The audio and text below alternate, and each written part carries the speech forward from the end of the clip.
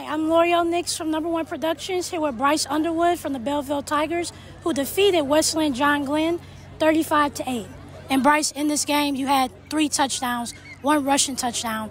Just describe to me this team chemistry this season. Um, we built a bigger bond that's bigger than football that that can ever control for sure. So um, it just all shows on the field. So the, the bond that we built is unbreakable. So. This time, you guys have a chance to three-peat.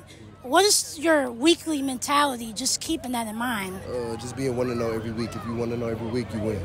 So.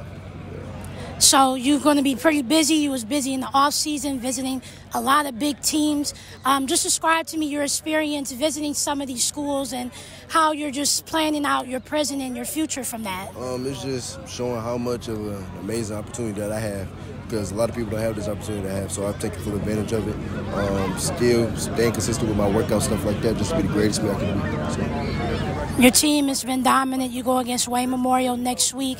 You have a chance to be 7 0 dominant both offensively and defensively. Just what are you and the rest of the team keeping in mind to keep the streak going? Uh, just being one to know. That's all we're worried about. Thank you so much, Bryson. Good luck next week. Always. Thank you.